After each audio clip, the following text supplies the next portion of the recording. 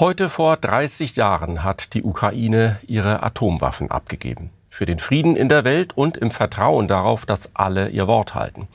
Die Ukraine hatte damals, 1994, noch das drittgrößte Atomwaffenarsenal der Erde. Im Budapester Memorandum gab das Land seine nukleare Bewaffnung auf, gegen Sicherheitsgarantien der Atommächte Russland, USA und Großbritannien. Der Weg an Valeri Kuznetsovs alten Arbeitsplatz führt über unterirdische Gänge tief unter die Erde. Wenn der Befehl zum Abschuss einer Atomrakete gekommen wäre, hätte der Ukrainer auf diesen Knopf gedrückt.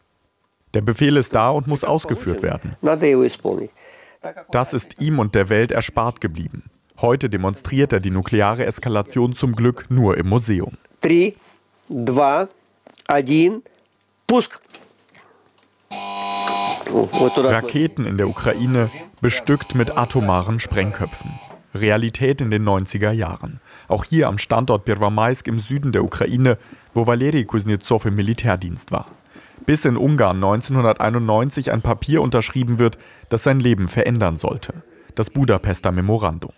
Die Ukraine, zu diesem Zeitpunkt drittgrößte Nuklearmacht der Welt, sichert zu, abzurüsten und vollständig auf Atomwaffen zu verzichten. Dafür garantieren die USA, Großbritannien und Russland die Sicherheit der Ukraine. Eine Garantie, die nicht eingehalten wird. 2014 besetzt Russland die ukrainische Krim und führt heute einen zerstörerischen Angriffskrieg. Um diesen Krieg auf Dauer zu beenden, sieht Kuznetsov eigentlich nur einen Ausweg.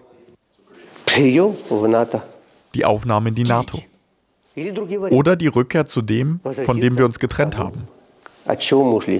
Die nuklearen Waffen in der Ukraine erneuern. Wenn wir zumindest über taktische Atomwaffen verfügt hätten, würde es den Krieg nicht geben.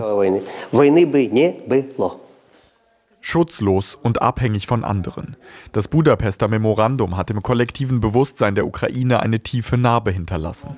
Als Konsequenz fordert der ukrainische Außenminister in Brüssel erneut Frieden durch Stärke.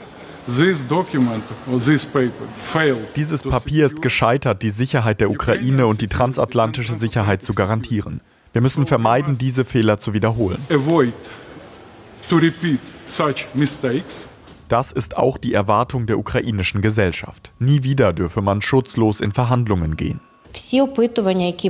Alle Umfragen, die wir sehen und die von unserem Think Tank in Auftrag gegeben wurden, zeigen, die ukrainische Gesellschaft ist nicht bereit für Verhandlungen mit Russland ohne echte Sicherheitsgarantien.